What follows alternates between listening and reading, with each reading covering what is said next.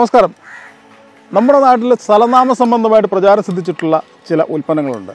Darjeeling tea അതുപോലെ തന്നെ Vazhakulam pineapple പൊക്കാളിയരി Aranmula കണ്ണാടി അങ്ങനെ ഓരോ സ്ഥലത്തിന്റെ പ്രാദേശികമായ ആ ഒരു പേര് വെച്ചിട്ട് ആ സ്ഥലനാമം സംബന്ധിച്ച് മാത്രം പ്രസിദ്ധമായിട്ടുള്ള കുറേ ഉൽപ്പന്നങ്ങൾ. ഇതിൽ അധികം ആരും അറിയാത്ത അതായത് അർഹിക്കുന്ന ഒരു പ്രചാരം ലഭിച്ചിട്ടില്ലാത്ത ഒന്നാണ് തിരുവിതാംകൂർ ശർക്കര അഥവാ ട്രാവൻകൂർ ജാഗരി. നമ്മളിപ്പോൾ പോകുന്നത് തിരുവല്ലയ്ക്കടുത്ത് കുറ്റൂരിലെ തെങ്ങേരി എന്ന പ്രദേശത്തിനടുത്തുള്ള കീത്തല എന്നുള്ള സ്ഥലത്തേക്കാണ്. അവിടെ കരിമ്പ് കൃഷിയിൽ നിന്ന് എങ്ങനെയാണ് ശർക്കര ഉണ്ടാക്കുന്നത്? എന്തൊക്കെയാണ് ശർക്കരയുടെ പ്രത്യേകതകൾ എന്നറിയാൻ ഒരു യാത്ര നടത്തുകയാണ്. അപ്പോൾ കൂടെ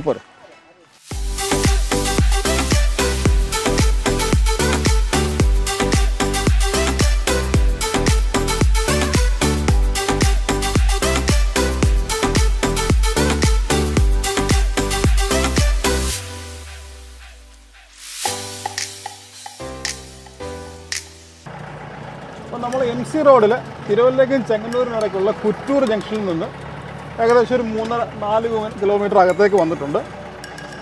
ഇവിടുന്ന് അകത്തേക്കുള്ളൊരു വഴിയാണ് ഈ കാണുന്നത്. കരിമ്പ് കൃഷിയൊക്കെ ഇപ്പോഴേ കാണാൻ തുടങ്ങിയിട്ടുണ്ട്.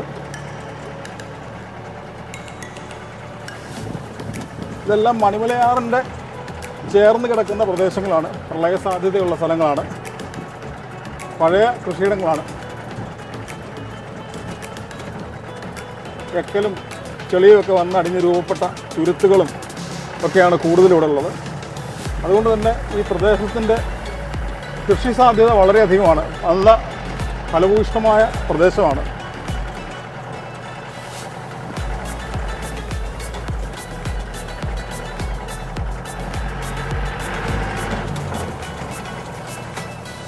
നമ്മുടെ സ്ഥലം എത്താറായെന്ന് തോന്നുന്നു. ഇവിടെ ഇപ്പോൾ തന്നെ പാടത്ത് കരിമ്പ് കൃഷി നടക്കുന്നുണ്ട്. അവിടെ തൊഴിലാളികൾ നിന്ന് പണിയെടുക്കുന്നുണ്ട്. പുതിയ കരിമ്പാണ് ഈ കൃഷി ചെയ്തിരിക്കുന്നത്. അതിന് ഇട കിളച്ചുകൊണ്ടിരിക്കുന്ന ജോലിയാണ് നടക്കുന്നത്.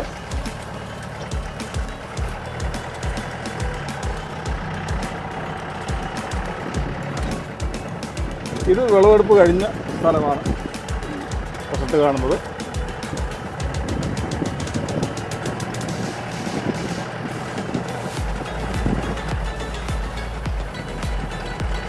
കാണുന്നതാണ് നമ്മുടെ ഈത്തല തങ്കച്ചായന്റെ കരിമ്പ് നിർമ്മാണ കേന്ദ്രം അല്ലെങ്കിൽ ശർക്കര നിർമ്മാണ കേന്ദ്രം എന്ന് പറയുന്നത്. നമുക്ക് അവിടേക്കൊന്നും അപ്പോൾ എങ്ങനെയാണ് കരിമ്പ് നീരിൽ നിന്നും ശർക്കര ഉൽപ്പാദിപ്പിക്കുന്നത് എന്നുള്ളത്? അതായത് ട്രാവൻകൂർ ജാഗരി പ്രശസ്തമായ തിരുവിതാംകൂർ ശർക്കര ഉൽപ്പാദിപ്പിക്കുന്നത് എങ്ങനെയാണെന്ന് നമുക്ക് കാണാം.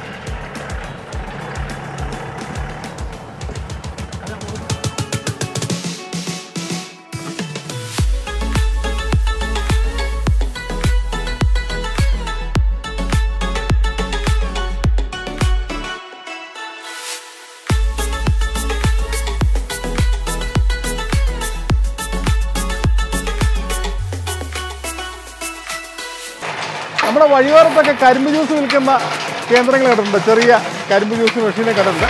അത്തരം കരിമ്പ് ജ്യൂസ് ഉൽപ്പാദിപ്പിക്കുന്ന മെഷീന്റെ വലിയൊരു പതിപ്പാണ് ഇവിടെ ഇരിക്കുന്നത്. ഒരു പത്ത് എച്ച് പി മോട്ടർ വെച്ചിട്ട് കരിമ്പ് ജ്യൂസ് എക്സ്ട്രാക്ട് ചെയ്യുന്ന ഒരു മെഷീനാണ് ഇരിക്കുന്നത്.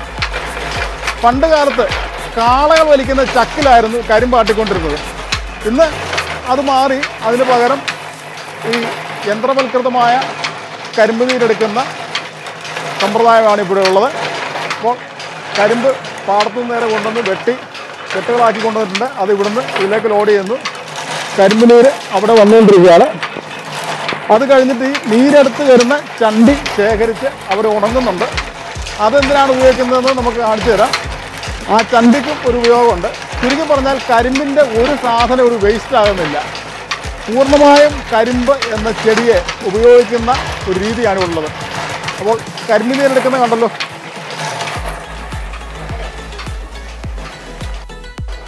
ഈ എക്സ്പെല്ലറിൽ നിന്ന് നേരെ ഇങ്ങോട്ട് കരിമ്പ് നീര് വന്നു വീണുകൊണ്ടിരിക്കുകയാണ്.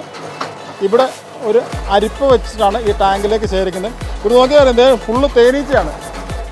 തേനീച്ചയാണ് ഇവിടെ വട്ടമിട്ട് പറന്നുകൊണ്ടിരിക്കുന്നത് ഈ കരിമ്പ് നീര് ശുദ്ധമായ കരിമ്പ് നീര് കുടിക്കാൻ വേണ്ടി വരുന്ന തേനീച്ചയാണ്. അപ്പോൾ ഇവിടെ ശേഖരിക്കുന്ന കരിമ്പ് നീര് ഇവിടുന്ന് മോട്ടറിൽ അടിച്ചാണ് അപ്പുറത്തുള്ള നിർമ്മാണശാലയിലേക്ക് കൊണ്ടുപോകുന്നത്. ഇവിടെ പമ്പ് സെറ്റ് വെച്ചിട്ടുണ്ട്.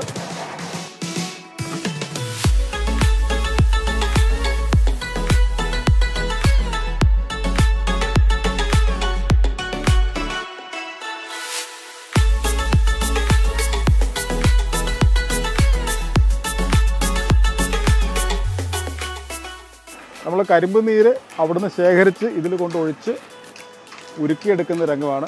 കുറച്ച് മുമ്പ് ഇതിനുണ്ടായിരുന്ന കണ്ടാമിനേഷൻസ് മാലിന്യങ്ങളെല്ലാം വെട്ടി മാറ്റി ശുദ്ധീകരിച്ച് ഇതിൽ കണ്ണം കുത്തുക എന്ന് പറയുന്നൊരു കാര്യമുണ്ട്. അതായത് ഇതിൽ പൊട്ടുന്ന കുമളകളുടെ വലിപ്പം അനുസരിച്ച് അരുവിക്കണ്ണ് കുരുവിക്കണ്ണ് അതുപോലെ തന്നെ ഏറ്റവും അവസാനം വരുന്ന ഈ ശർക്കര ഇതിലേക്ക് സെറ്റിലാവുന്ന അതായത് ഉരുകി അടിയുന്ന ആ ഒരു രംഗമാണ് ഇപ്പോൾ കാണുന്നത്.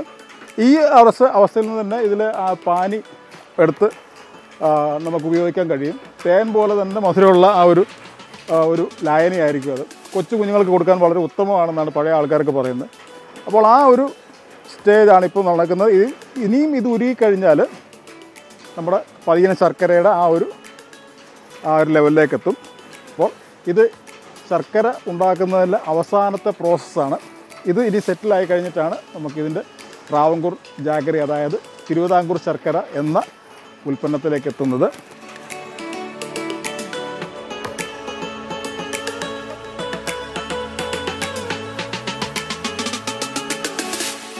ഇപ്പോൾ നമ്മുടെ ഇപ്പോൾ ഉള്ളത് ഇവിടുത്തെ ഇളം തലമുറയിലെ എബ്രഹാം വി തോമസ് അജി കല്ലിങ്കൽ എന്നറിയപ്പെടുന്ന അദ്ദേഹമാണ്. ഇപ്പോൾ ഈ കൃഷിയും കാര്യങ്ങളെല്ലാം നോക്കുന്ന ഒരാൾ അപ്പോൾ അയച്ച ഇതിനകത്ത് ഇപ്പോൾ ഏറ്റവും അവസാനത്തെ സ്റ്റേജിലേക്ക് എത്തിക്കൊണ്ടിരിക്കുകയാണ്. ഏറ്റവും അവസാനത്തെ സ്റ്റേജിലേക്ക് ഇത് കണ്ണൻ കുത്തി താഴുന്ന ഒരു രംഗമാണ് ഇപ്പോൾ കാണുന്നത്. രംഗമാണ് കാണുന്നത്. ഈ സമയത്ത് നമുക്ക് ഈ കണ്ണൻ കുത്തി താഴുന്ന സമയത്ത് പാനി ശർക്കര പാനി എന്ന് പറഞ്ഞൊരു സംഭവമുണ്ട്. വളരെ ടേസ്റ്റിയാണ്. കുഞ്ഞുങ്ങൾക്ക് വളരെ തേൻ പോലിരിക്കും. തേൻ പോലിരിക്കും. അത് കുപ്പിക്കകത്ത് നമുക്ക് എത്ര നാൾ വേണമെങ്കിലും സൂക്ഷിച്ച് വെക്കാൻ പറ്റുന്ന കട്ടിയായി പോകത്തില്ല. കട്ടിയായി പോകത്തില്ല. ഇതിനകത്ത് കുറച്ചുകൂടെ താന്നു കഴിഞ്ഞാൽ ഇത് ശർക്കരയാകുകയാണ്. പതിയൻ ശർക്കരയാണ് ജാഗരിയാകുകയാണ് അതിനുശേഷം നമ്മളിവിടെ ഉണ്ട ശർക്കര ഉണ്ടാക്കുന്നില്ല. കുറച്ചുകൂടെ കഴിഞ്ഞു കഴിയുമ്പോഴാണ് കഴിയുമ്പോൾ വറ്റിച്ച് കഴിഞ്ഞാൽ. കഴിഞ്ഞാൽ നമുക്കത് ഉണ്ടയാക്കി മാറ്റാൻ സാധിക്കും. നമ്മുടെ ഈ മറയൂർ ശർക്കര ഒക്കെ പോലെ തന്നെ അതെ അതെ. മറയൂരേക്കാൾ ഇവിടെ നമുക്ക് യാതൊരുവിധ കെമിക്കൽസോ മറ്റുള്ള കാര്യങ്ങളോ ഒന്നും ഇതിനകത്ത് ഉപയോഗിക്കുന്നില്ല. പ്യുവർ ശർക്കരയാണ്. ഔഷധ ഗുണവും ടേസ്റ്റി വളരെ ടേസ്റ്റിയാണ് ഈ ശർക്കരയ്ക്ക്. മറ്റുള്ള പ്രത്യേകിച്ച് ഞങ്ങളുടെ ഈ പാടത്ത് നിർമ്മിക്കുന്ന ശർക്കരയാണ് ഏറ്റവും രുചികരവും ഔഷധ ഗുണമുള്ളതും ആ, ആയ ശർക്കര. അത് അതിനകത്ത് മാലിന്യങ്ങൾ ഒന്നും തന്നെ ഇല്ല. വളരെ ക്ലീനായിട്ടാണ് നമ്മൾ ആ കാര്യങ്ങൾ ചെയ്യുന്നത്. അപ്പോൾ തിരുവിതാംകൂർ ശർക്കരയുടെ നിർമ്മാണ പ്രക്രിയയുടെ അവസാന ഘട്ടത്തിലേക്ക് എത്തിക്കൊണ്ടിരിക്കുകയാണ്. ഇനി ഇത് ഉരുകി ചേർന്ന് കഴിഞ്ഞിട്ട് ഇത് നമ്മൾ ഇനി ഒരു അവസാനം നമുക്ക് അതിനൊരു കറക്റ്റ് ടൈം എന്ന് പറയുന്നത് ഇതിനകത്തൊരു വെള്ളപ്പത വരും. നമ്മുടെ പണിക്കാരൊക്കെ പറയും സായിപ്പ് വന്നു എന്ന് പറയും. അതായത് ഈ ഈ ശർക്കര അതിപ്പോൾ ഞാൻ കാണിക്കാം. അതിന്റെ ഒരു പ്രൊസീജിയർ വരുമ്പോൾ ആ ഒരു ആ പരുവമാണ് ശർക്കരയുടെ പരുവം. ആ സമയത്ത് നമ്മളിത് ഈ മരവിക്കകത്തോട്ട് വാങ്ങി ഒഴിച്ച് അത് തണുപ്പിച്ച ശേഷമാണ് നമ്മൾ തണുപ്പിക്കാൻ എത്ര സമയം എടുക്കും അത് അതിന്റെ എത്ര കൊണ്ട് അതിനനുസരിച്ചിരിക്കും. എങ്കിലും ഒരു ഒരു മണിക്കൂറിനകത്ത് നമുക്കത് പാട്ടയ്ക്കകത്തോ അല്ലെങ്കിൽ ടിന്നിനകത്തോ നമുക്ക് എടുത്ത് നിറയ്ക്കാൻ പറ്റും. അതെ. അല്ലെങ്കിൽ വളരെയധികം പെട്ടെന്ന് അത് കട്ടി പിടിച്ചു കട്ടി പിടിച്ചു ആ സമയത്തിനുള്ളിൽ തന്നെ അത് നിറയ്ക്കേണ്ട ആവശ്യമാണ്. നമ്മുടെ നമ്മുടെ ഈ പ്രദേശത്തിന്റെ പ്രത്യേകതയാണ് ഈ പതിയൻ ശർക്കര എന്ന് പറയുന്നത്. കാരണം മറ്റ് അധികം സ്ഥലങ്ങൾ അങ്ങനെ കണ്ടിട്ടില്ല. അതായത് എനിക്ക് ഈ ഒരു പന്തളം മുതൽ ഇങ്ങോട്ടുള്ള ഒരു ബെൽറ്റിൽ കുറേ കരിമ്പ് പാടങ്ങൾ പണ്ടുണ്ടായിരുന്നു. ഇപ്പം ഒരുപാട് പാടങ്ങളെല്ലാം നികത്തിയും മറ്റും പോയി വളരെ ചുരുക്കം പാടങ്ങൾ മാത്രമേ അവശേഷിക്കുന്നുള്ളൂ. അപ്പോൾ ഇങ്ങനെ വളരെ ചുരുക്കം സ്ഥലങ്ങളിൽ നിന്നുള്ള കൃഷിയിൽ നിന്നാണ് ഇപ്പോൾ പതിയൻ ശർക്കര ഇത് വളരെ അപൂർവമായിട്ട് മാത്രമാണ് ഇപ്പോൾ കാണുന്നത്. സാധാരണ തമിഴ്നാട്ടിൽ നിന്നും മറ്റും വരുന്ന ഉണ്ട ശർക്കരയാണ് ഇപ്പോൾ നമ്മുടെ നാട്ടിൽ ലഭ്യമായിട്ടുള്ളത്. പക്ഷേ ഇങ്ങനെ ഇത്രയും നല്ലൊരു ഉൽപ്പന്നം നമ്മുടെ നാട്ടിലുണ്ടായിട്ട് അതിനെ വേണ്ട രീതിയിൽ വിപണനം ചെയ്യാനോ അതിനെ പ്രൊമോട്ട് ചെയ്യാനോ ഒന്നും കഴിയാതെ പോലെ വലിയൊരു നിർഭാഗ്യം തന്നെയാണ് ആണോ ആണോ ആണോ തീർച്ചയായിട്ടും. ഇവിടുത്തെ ശർക്കര എന്ന് പറയുന്നത് പേറ്റന്റ് കിട്ടിയിട്ടുള്ളതാണ്. ഏറ്റവും രുചികരമായ ശർക്കരയ്ക്ക് ഏറ്റവും നല്ല ശർക്കരയ്ക്ക് പേറ്റന്റ് ട്രാവങ്കൂർ ജാഗരി. അതെ അതെ. നാഷണൽ നാഷണൽ ജോഗ്രഫിക് ഇൻഡെക്സ് എന്ന് പറഞ്ഞ ആ ഒരു സ്ഥലനാമ സൂചിക പ്രകാരം അതിനകത്തുണ്ട്. ഉണ്ടുണ്ട്. അതിൽ അതിൽ ലിസ്റ്റ് ചെയ്യപ്പെട്ടിട്ടുള്ള ഒന്നാണ് ഈ ട്രാവൻകൂർ ജാഗ്രത എന്ന് പറയുന്നത്. പ്രത്യേകം ഈ പാടത്തിനകത്ത് ഈ പാടം ഏറ്റവും ഫലഭൂഷ്ടമായ അതായത് മണിമലയാറിന്റെ തീരത്തായതുകൊണ്ട് ശരിക്കും എക്കൽ വന്നടിയുന്നതുകൊണ്ട് സ്വാഭാവികമായിട്ടും എക്കലിൽ കൂടെ തന്നെ ഇതിന് വളം നാച്ചുറൽ ആയിട്ടുള്ള അതിനുള്ള അത് എല്ലാ വർഷവും നടന്നുകൊണ്ടിരിക്കുന്ന ഒരു പ്രോസസ്സാണ് ആ വെള്ളം കയറി പോകുന്നത് അതുകൊണ്ട് ഏറ്റവും മനോ ഏറ്റവും രുചികരവും നല്ല ഫലഭൂ ഞാനിപ്പോൾ ഞാനിപ്പോ ഇങ്ങോട്ട് വന്നപ്പോൾ പറയായിരുന്നു ഏറ്റവും ഫലഭൂഷ്ടമായിട്ടുള്ള ഒരു പ്രദേശമാണ് ഒരു ഒരു ഭൂപ്രകൃതിയാണ് ഇവിടുത്തേത് അത്. സ്വാഭാവികമായിട്ടുള്ള പ്രളയം അതുപോലെ തന്നെ ആ ഒരു ഒരു വാഷിംഗ് നമ്മുടെ നദികൾ നദികൾ തന്നെ നദികൾ തന്നെ ചെയ്യുന്നത് കൊണ്ട്.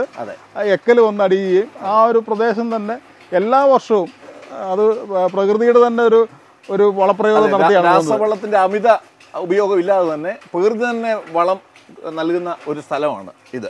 അതുകൊണ്ട് തന്നെയാണ് ഇത്രയും ക്വാളിറ്റിയുള്ള കരിമ്പും അതുപോലെ ശർക്കര ഉണ്ടാക്കാൻ കഴിയുന്നത്. മറ്റുള്ള സ്ഥലങ്ങളിൽ ഉപ്പുരസമുണ്ട്. ഇതിൽ ഉപ്പുരസം എന്ന് പറയുന്ന സംഭവം. വളരെ രുചികരമാണ് മധുരമാണ്. സാധാരണ ശർക്കര പുറത്തുനിന്നുള്ള ശർക്കരകളൊക്കെ ഉപയോഗിക്കുന്നുണ്ട്. അതിന്റെ നാലിലൊന്ന് മതി ഇതിന്. ശരിക്കും ഈ ശർക്കര. അത്രയും ഗാഠമായ അത്രയും കോൺസെൻട്രേറ്റഡ് ആയിട്ടുള്ള ഒരു പ്രോഡക്റ്റാണിത് കാരണം മധുരത്തിന്റെ കാര്യത്തിൽ മറ്റുള്ള ശർക്കര ഉപയോഗിക്കുന്നതിനേക്കാൾ വളരെ കുറഞ്ഞ അളവിൽ മാത്രം ഉപയോഗിച്ചാൽ മതി ഈ ഇവിടുത്തെ ശർക്കര എന്ന് പറയുന്നത്. അത് ഈ ഉപയോഗിച്ചാലേ അത് മനസ്സിലാകും ടേസ്റ്റ് മനസ്സിലാക്കണം. ഒരിക്കലും പിന്നെ ഇതിൽ നിന്ന് തിരിച്ചു പോകാൻ പാടാണ്. അപ്പോൾ നമുക്ക് ഇതിന്റെ അടുത്ത പ്രോസസ്സിന് വേണ്ടി കാത്തിരിക്കാം. ഇത് സെറ്റായി കഴിയുമ്പോൾ നമ്മൾ പറഞ്ഞല്ലോ സായിപ്പ് വരുന്നതിന് വരെ നമുക്ക് കാത്തിരിക്കാം. സായിപ്പ് വന്നു കഴിഞ്ഞിട്ട് നമുക്ക് ബാക്കി കാര്യം പറയാം.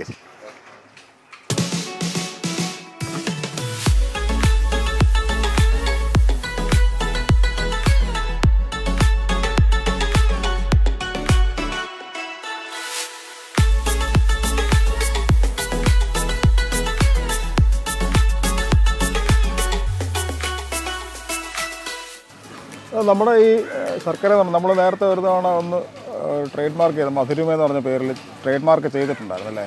ഇത് ശരിക്കും പറഞ്ഞാൽ നമുക്ക് നമ്മുടെ നാട്ടുകാർക്ക് ഇതിന്റെ ഒരു പ്രാധാന്യം അറിയാൻ വേണ്ടിയിട്ട്. ഇത് ശരിക്കും ജോഗ്രഫിക്കൽ ഇൻഡിക്കേഷൻസ് വന്നിട്ടുള്ളതാണ്. അതായത് ഓരോ പ്രാദേശിക ആയിട്ടുള്ള പ്രത്യേകതകളിൽ ഇപ്പം നമ്മുടെ ഡാർജിലിംഗ് ടീ വാഴക്കുളം പൈനാപ്പിൾ ആറന്മുള കണ്ണാടി ഇങ്ങനെയുള്ള ഓരോ പ്രത്യേക സ്ഥലങ്ങളിൽ മാത്രം കിട്ടുന്ന ആ ഒരു ഗണത്തിൽപ്പെടുന്നതാണ് ഈ തിരുവിതാംകൂർ ശർക്കര എന്ന് പറയുന്നത് നമ്മളെ ട്രാവൻകൂർ ചാക്കരി അതെ.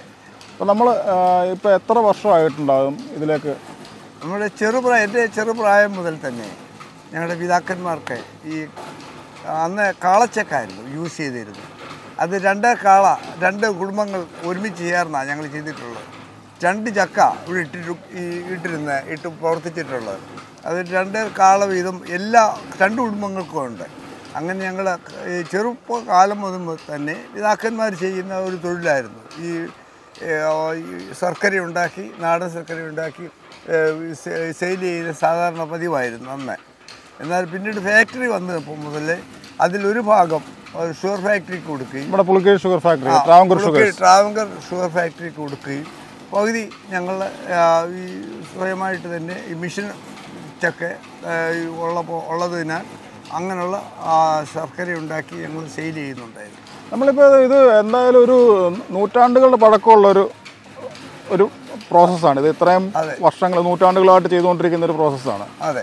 അപ്പോൾ ഈ കാലഘട്ടത്തിൽ ഇപ്പം ഇതിലേക്ക് പുതിയ ആളുകൾ ആരെങ്കിലും വരുന്നുണ്ടോ? അതോ അത് ഈ ആ സമയങ്ങളിൽ മുഴുവനും ഫാക്ടറി സ്ഥാപിക്കുന്നതിന് മുമ്പേ ഈ കളച്ചക്ക് മുഖാന്തരം ഈ ശർക്കര ഉണ്ടാക്കുകയും ചങ്ങനാശ്ശേരി ഇങ്ങനെയുള്ള വലിയ മാർക്കറ്റുകളിൽ കൊണ്ട് കൊടുക്കുകയൊക്കെ ആയിരുന്നു പതിവ്. എന്നാൽ ഇപ്പോൾ വന്നു കഴിഞ്ഞപ്പോൾ ആ രീതിയിൽ നിന്നൊരു ചേഞ്ചസ് വന്നുകൊണ്ടിരിക്കുന്നു.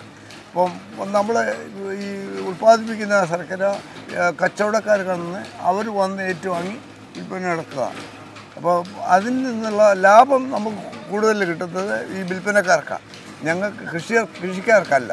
അപ്പോൾ ആയതുകൊണ്ട് അങ്ങനെയുള്ള കാര്യം ഇടനിലക്കാരാണ് കൂടുതൽ ലാഭം എടുക്കുന്നത്. ലാഭം എടുക്കുന്നത്. ശരിക്കും പറഞ്ഞാൽ നമ്മളിവിടെ കഷ്ടപ്പെടുന്നതിന്റെ അല്ലെങ്കിൽ ഇത്രയും ബുദ്ധിമുട്ടി കാര്യങ്ങൾ ചെയ്യുന്നതിനൊക്കെ പ്രയോജനം നമുക്ക് കിട്ടുന്നില്ല. ലഭിക്കുന്നില്ല. അർഹമായിട്ടുള്ളൊരു പ്രതിഫലം കിട്ടുന്നില്ല. ഇല്ല. ഇത് നമ്മളിവിടെ ചെയ്യുന്നതെന്ന് വെച്ചാൽ ഞാനിവിടെ നേരത്തെ വന്ന് കണ്ടിട്ടുണ്ട്. നമ്മൾ ഏറ്റവും നന്നായിട്ട് ഫിൽട്ടർ ചെയ്ത് എല്ലാം വളരെ വൃത്തിയായിട്ട് നോക്കിയെല്ലാം ചെയ്യുന്നു. മറ്റുള്ള സ്ഥലങ്ങളിൽ നിന്ന് വരുന്ന ചർക്കയുടെ പോലെ അഴുക്കോ മറ്റ് കണ്ടാമിനേഷൻസ് ഒന്നും ഇല്ലാതാണ് നമുക്ക് കിട്ടുന്നത്. അതുപോലെ നല്ല കോൺസെൻട്രേറ്റഡ് ആയിട്ടുള്ളൊരു മധുരം അതിനുണ്ട്. മധുരം മാത്രമല്ല ഞങ്ങൾ ചെയ്യുമ്പോൾ ഈ കൂടുതൽ ഇത് യൂസ് ചെയ്യുന്നത്. എല്ലുപൊടി കടലപ്പിണ്ണാക്കും ചേർത്ത് ഞങ്ങളുള്ള കൃഷിയിൽ യൂസ് ചെയ്യുന്നുണ്ട്. അപ്പോൾ ചിലവ് അല്പം കൂടും. എന്നാൽ മധുരവും അതിന് നല്ലതായിട്ടുള്ള ഒരു ഉൽപാദനം ഈ ശർക്കരയിൽ നിന്ന് കിട്ടുവാൻ ലഭിച്ചിട്ടുണ്ട്. ശരിക്കും പറഞ്ഞാൽ ഇവിടുത്തെ ഒരു മണ്ണിന്റെ പ്രത്യേകത എക്കൽ നിറഞ്ഞ മണ്ണിന്റെ പ്രത്യേകതയും കൂടെ ഉണ്ട്. ഓരോ വർഷവും എക്കൽ കയറി അടിഞ്ഞു വരുന്ന അതായത് പ്രളയത്തിന്റെ ഫലമായിട്ട് വരുന്ന ആ ഒരു ഒരു പ്രോസസ്സിൽ എക്കൽ കയറി ഈ മണ്ണിന് തന്നെ ഒരു പ്രത്യേകത ഉണ്ട് അതുകൊണ്ടും കൂടി എക്കൽ കയറുന്ന മണ്ണ് ആണെങ്കിൽ നമ്മുടെ ഈ നമ്മൾ ചെയ്യുന്ന ആധുനിക രീതിയിലുള്ള വളങ്ങളല്ല നമ്മൾ ഉപയോഗിക്കുന്നത്. എല്ലുപൊടി പിണ്ണാക്കി ഇങ്ങനെയുള്ള ജൈവവളങ്ങളെ നമ്മൾ യൂസ് ചെയ്യുന്നുണ്ട്. അതുകൊണ്ട് അതിന്റെതായിട്ടുള്ള ഒരു കൂടുതൽ ബെനിഫിറ്റ് നമ്മുടെ നല്ല മധുരം അതുപോലെ തന്നെ നിറത്തിലാണെങ്കിലും എല്ലാത്തിനും നല്ല മാർക്കറ്റിങ് നമുക്ക് ലഭിച്ചുകൊണ്ടിരിക്കുന്നു. ഇതിപ്പം കൂടുതലായിട്ട് നമ്മൾ ഉൽപാദനം കൂട്ടാനോ അങ്ങനെ എന്തെങ്കിലും കാര്യം ശ്രമിക്കുന്നുണ്ടോ? ആ നമ്മൾ ഉള്ള നമ്മുടെ കൃഷിയിൽ നല്ലൊരു പങ്ക് നല്ല ഒരു മൂന്ന് ഹെക്ടർ സ്ഥലത്ത് നമുക്ക് കരിമ്പ് കൃഷിയുണ്ട്. അത് നടത്തിക്കൊണ്ടിരിക്കുന്നു. അത് നമ്മൾ സെയിൽ ചെയ്യുന്നുണ്ട്. ഇപ്പോൾ എല്ലാ വർഷവും ഈ ഒരു കരിമ്പാട്ടുന്ന സീസൺ ആകുമ്പോഴത്തേക്ക് ഇവിടെ ഉണ്ടാവുമല്ലേ? ആ, ഈ സീസണിൽ ഇങ്ങനെ ഉള്ള സമയത്ത് ഞാൻ കുഞ്ഞുങ്ങളുടെ അടുക്കൽ നിന്ന് മടങ്ങി വരും. ഇവിടെ അമേരിക്കയിൽ നിന്ന് വരും. ആ അമേരിക്കയിൽ നിന്ന് ഞങ്ങൾ കടന്നു വരികയും ആറ് മാസം ഇവിടെ കാർഷിക മേഖലയിൽ പ്രവർത്തിക്കുകയും ചെയ്യുന്നുണ്ട്. അതില്ലാതെ പറ്റത്തില്ല. അല്ല പറ്റത്തില്ല. അത് നമുക്ക് അതിന് സ്വസ്ഥതയില്ല. ഒരു വർഷം പോലും അത് അത് മിസ്സാക്കാൻ ഉദ്ദേശിക്കുന്നില്ല അത് ഈ ശരി അത് നമുക്കൊരു ഇതാകുന്നില്ല ഇവിടെ വന്ന് നാട്ടിൽ വന്ന് കൃഷി കാര്യങ്ങളിൽ കൂടുതൽ വ്യാപൃതരാകുകയും അത് ചെയ്ത് പ്രവർത്തിപ്പാൻ അതിനുള്ള താല്പര്യമാണ് നമുക്ക്. അത് നമ്മൾ തീർച്ചയായും കടന്നു വരും. ലോകത്തിന്റെ വേറൊരു ഭാഗത്ത് പോയാലും ആ ഒരു സന്തോഷം കിട്ടത്തുമില്ല. അതെ അതൊരു സന്തോഷം നമുക്കൊരു സന്തോഷമാണ്. പിതാക്കന്മാരുടെ കാലം മുതൽ നടക്കുന്ന ഒരു പ്രവൃത്തിയായതുകൊണ്ട് അതിൽ കൂടുതൽ വ്യാ- വ്യാപൃതരായിരിക്കുന്നത് സന്തോഷമാണ്. ഇപ്പോൾ ഒരുപാട് ആളുകൾ പുതിയ ആളുകൾ കൃഷിയിലേക്ക് വരുന്നുണ്ട്. ഈ ചെലവ് കാരണം ഈ ഒരുപാട് ഈ പ്രയാസങ്ങൾ കടന്നു വരുത്തുന്നത് ഈ യഥാർത്ഥ വ്യക്തികൾക്ക് ഇതിനകത്ത് ലാഭം കിട്ടുന്നില്ല. അത് മാർക്കറ്റിങ്ങിൽ പോകുന്ന ഇടനിലക്കാർക്കാണ് അതിന്റെ ലാഭം കൂടുതൽ. പുതിയ പുതിയതായിട്ട് പുതിയ തലമുറയിലുള്ള ആളുകളോട് ഈ കൃഷി സംബന്ധിച്ച് വരുന്ന ആളുകളോട് എന്തെങ്കിലും പറയാനുണ്ടോ? ഒരു സന്ദേശം കൊടുക്കാനുണ്ടോ? നമുക്ക് നമ്മൾ നേരിട്ട് വിൽപ്പന നടക്കുകയാണെന്നിട്ട് എന്റെതായിട്ടുള്ള പ്രയോജനം നമുക്കുണ്ടാവും. അപ്പോൾ ആ ഒരു കാര്യത്തിൽ നമ്മൾ താല്പര്യപ്പെടുന്നു. അപ്പോൾ കൃഷി ചെയ്യുന്നവർ തന്നെ വിപണനവും ചെയ്യണമെന്നുള്ളതാണ് അഭി എന്നാലേ നമുക്ക് അതിന് നമുക്ക് ശരിയായിട്ടുള്ള പ്രതിഫലം കിട്ടത്തുള്ളൂ. അപ്പോൾ അങ്ങനെ ചെയ്തു കഴിഞ്ഞാൽ തീർച്ചയായിട്ടും അത് നല്ല ഉറപ്പുള്ള ഒരു വരുമാന സ്രോതസ് തന്നെ ആയിരിക്കും അത് അങ്ങനെ അങ്ങനെ സാധ്യത. നമ്മൾ കാണുന്നുണ്ട്. നമ്മൾ തന്നെ സെയിൽ ചെയ്ത് നമുക്ക് വിൽപ്പന നടത്തുവാണെങ്കിൽ അതിന്റേതായിട്ടുള്ള പ്രതിഫലം നമുക്ക് കിട്ടും.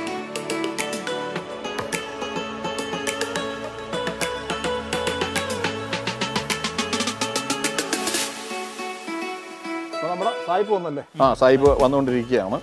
ഈ നടക്ക് കാണുന്ന ആ വൈറ്റ് ലൈനാണ്. വൈറ്റ് ഒരു പത കണ്ടോ? അപ്പം അത് കൂടുമെന്ന് ഇത് ചെയ്യും. വശങ്ങളിൽ നിന്നെല്ലാം വരുന്നുണ്ട്. കണ്ടോ? വൈറ്റ് പത അപ്പം കാണാമല്ലോ. ആ ശർക്കരയുടെ സ്മെല്ലും നല്ല വരും.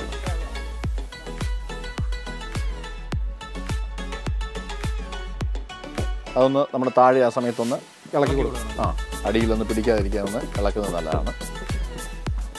ഇത് കുറച്ചുകൂടെ മൂപ്പായാൽ കുറച്ചുകൂടെ ആയിക്കഴിഞ്ഞാൽ ഇത് ഉണ്ട ശർക്കരയായിട്ട് മാറും.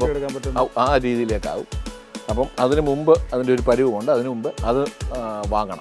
വാങ്ങിയാൽ ശർക്കരയാകും പതിയ ശർക്കര എന്ന് പറഞ്ഞ ഒരു അതാണ്. ആ പ്രൊസീജിയറിലേക്ക് പോകും. ഇപ്പോൾ കണ്ടല്ലോ സെൻട്രലിലേക്ക് വൈറ്റ് വന്നേക്കുന്നതാണല്ലേ? ഇനി അത് ചെമ്പ് എല്ലാവരും ചേർന്ന് വാങ്ങുകയാണ്. ഇപ്പോൾ സായിപ്പ് വന്നു. ഇനി നമ്മളത് ഇനി ഒഴിക്കുകയാണ് ഇപ്പോൾ അത് നമ്മുടെ ശർക്കരയുടെ പരുവമായി.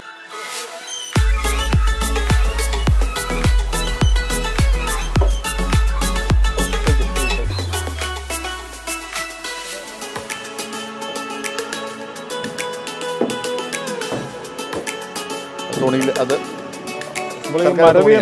തുണിയിലേക്ക്. ഈ തടി കൊണ്ടുള്ള മരവി എന്ന് പറയുന്ന തോണിയിലേക്ക് ഇതിന് കൂളിംഗ് ഡൗൺ പ്രോസസ്സിന് വേണ്ടി ഒഴിക്കുകയാണ്. ഇതിനകത്ത് ഏകദേശം ഒരു മണിക്കൂറല്ലേ? ആ ഒരു മണിക്കൂർ. ഒരു മണിക്കൂറോളം ഇതിനകത്ത് റെസ്റ്റ് ചെയ്ത് കഴിയുമ്പോഴേക്കാണ് ഇത് തണുക്കുന്നത്. ടിന്നിനകത്ത് നമുക്ക് പാക്ക് ചെയ്യാനുള്ള ഒരു പരുവത്തിലാകുന്നത്. വളരെ ടേസ്റ്റി ആയിട്ടുള്ള ഒരു അവസ്ഥയാണ് ഇപ്പോൾ. ഈ സമയത്ത് തേങ്ങ കൂട്ടി കഴിക്കുവാണെങ്കിൽ വളരെ രുചികരമാണ്. ചില കഴിയുമ്പോൾ ഇത് കട്ട് കട്ട് ചെയ്യാം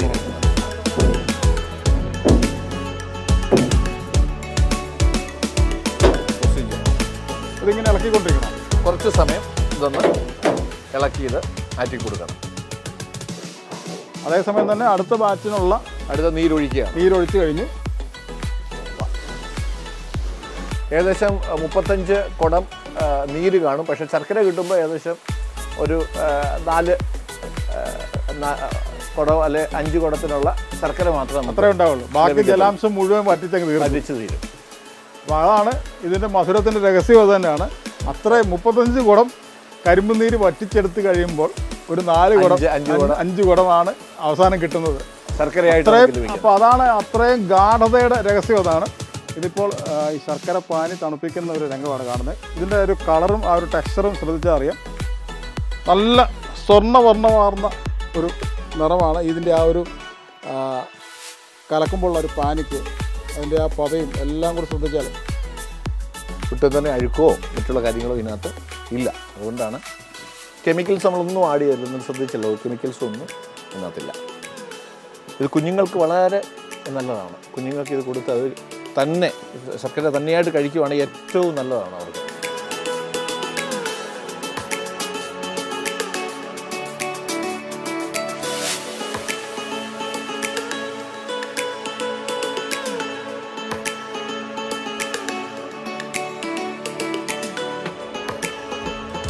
അപ്പോൾ നമ്മൾ ശർക്കര നിർമ്മാണത്തിന്റെ പ്രോസസ്സൊക്കെ കണ്ടു. അത് കഴിഞ്ഞിട്ട് നമ്മൾ ആ കൃഷിയിടത്തിന് മുന്നിൽ മണിമലയാറിന്റെ തീരത്ത് വന്ന് നിൽക്കുകയാണ്. ഈ ശർക്കര നമുക്കൊന്ന് ടേസ്റ്റ് ചെയ്യണ്ടേ? ഇതാണ് എടുത്തിട്ടുള്ളത്. ശർക്കരയുടെ ഏറ്റവും നല്ല കോമ്പിനേഷൻ എന്ന് പറയുന്നത് കരിക്കും ശർക്കരയാണ്. കരിക്കിന്റെ കാമ്പും ഈ ശർക്കര പാനി. ഇതൊന്ന് മുക്കി. ആഹാ. സ്വർഗീയ അനുഭൂതിയാണ് നല്ല നാടൻ ശർക്കര. അതിന്റെ കൂടെ നല്ല ഇളപ്പം തേങ്ങയുടെ കാമ്പ്. ഇത്ര നല്ലൊരു കോമ്പിനേഷൻ. ശർക്കരയോടൊപ്പം വേറെയില്ല അപ്പോൾ ഇതാണ് നാടൻ ശർക്കര. ട്രാവൻകൂർ ജാഗരി അല്ലെങ്കിൽ തിരുവിതാംകൂർ ശർക്കര എന്ന് പറയുന്ന ഇപ്പോൾ മധുരിമ എന്ന ട്രേഡ് മാർക്കിൽ ഉള്ള ശർക്കരയാണ് ഇപ്പോൾ നമ്മൾ ടേസ്റ്റ് ചെയ്തിട്ടുള്ളത്. ഈ ശർക്കര വാങ്ങാനും ഇതേപ്പറ്റി കൂടുതൽ വിവരങ്ങൾ അറിയാനും താല്പര്യമുള്ളവർ ഇതോടൊപ്പം കൊടുത്തിട്ടുള്ള നമ്പറിൽ ബന്ധപ്പെടുക. ഇത് വ്യാവസായികമായിട്ട് ഇവിടുന്ന് പല സ്ഥലങ്ങളിലേക്കും പാക്ക് ചെയ്ത് പോകുന്നുണ്ട്. അപ്പോൾ അത് സംബന്ധിച്ചുള്ള അന്വേഷണങ്ങൾക്ക് ആ നമ്പറിൽ ബന്ധപ്പെട്ടാൽ മതിയാവും. അപ്പോൾ ഇത്ര നേരം ഇത് കണ്ടുകൊണ്ടിരുന്ന എല്ലാവർക്കും വളരെ നന്ദി നമസ്കാരം. Thanks for watching